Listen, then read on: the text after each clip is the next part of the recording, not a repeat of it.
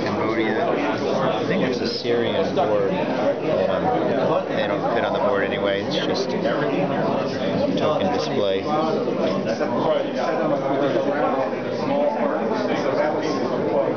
He's got, it's, they